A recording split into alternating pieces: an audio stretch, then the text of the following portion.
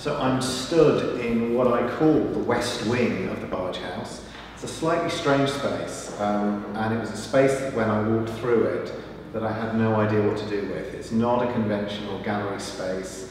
Um, it's not. We thought about using it as a um, the resources room. Um, it's got strange laminate flooring, and it's not really the sort of space that you can really imagine art working in.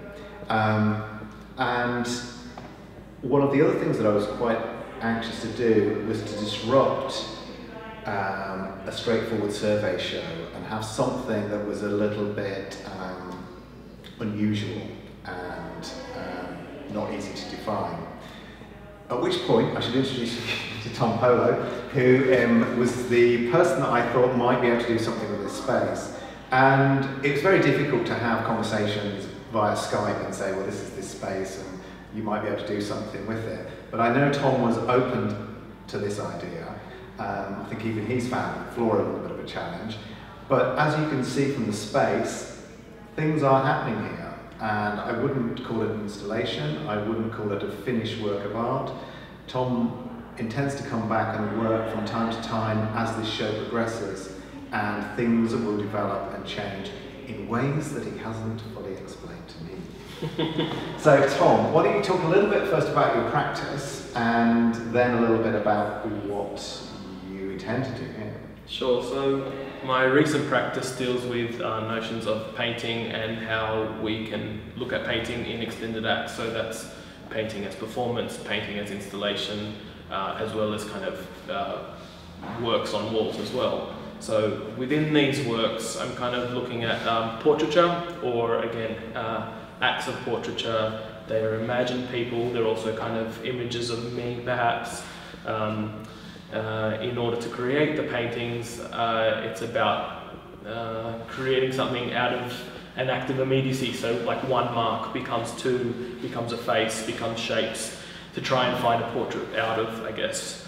Um, and so for this show, knowing that I'd be in a space that was quite, um, quite, challenging. quite challenging, quite different, I really wanted to push something that I was doing earlier in the year, which involved um, the, either the accumulation of mark or gesture in a space um, through the addition or removal of objects or painting on walls or painting in space um, to really challenge the notion or that, that kind of fixation between studio and gallery and the idea of completion or what we deem to be a desired outcome.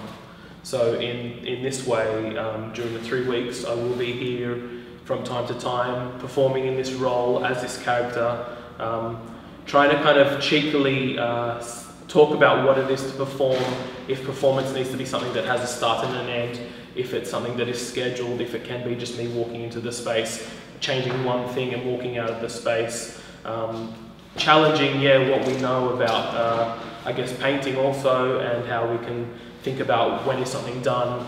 Uh, I want people to walk into this space also and wonder if something has happened or if there's that expectation that something is looming also. Mm -hmm. And in terms of the banner works as well and the text works, um, to some extent, do they operate separately from the portraits? Do the portraits interact with the text in a, in a, in a particular way, or is, is that a, to some extent left in the viewer's imagination?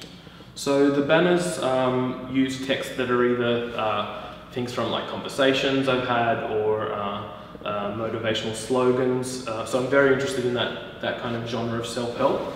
Um, and I see the paintings or the figurative portraits as being almost like the audience, both in the gallery space, perhaps the audience that might attend one of these like um, lectures. So they themselves uh, blur the line between who is looking and who is being looked at. So um, as you can see, they are uh, paintings or figurative paintings on uh, sticks. So I kind of I re refer to them as um, uh, like personal protest cards. So not of they, they're not kind of protesting um, something kind of political or social. They're rather they are kind of talking about something personal.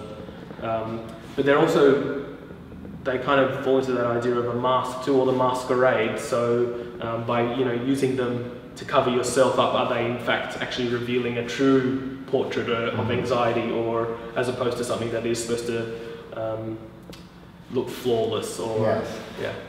And you, you, I mean, it is an odd space and it's a challenging space, but even on the four or five days that I've been walking around, the space has changed subtly each Mhm. day, even to the point that you've used the existing um, blinds, some of them Yeah, yeah. raised to the top, some of them raised to the bottom. And I know that sort of scavenging, recycling is also important to your practice. Yeah, so I will often come into a space, um, and I, I did this actually last year when I was in London for my show. I, I came to the space and used materials that were found on site. I I'm interested in um, that direct relationship between uh, what is able to be achieved and kind of um, if that's uh, by you know picking up some wood that's around the space or using a sign that's found outside um, or, or in this case using the blinds and kind of playing with with the levels of the way that they're working and um, how that kind of fits into the composition of the whole space also um, but it kind of creates this feeling of, of yeah is this a, like a for hire space of a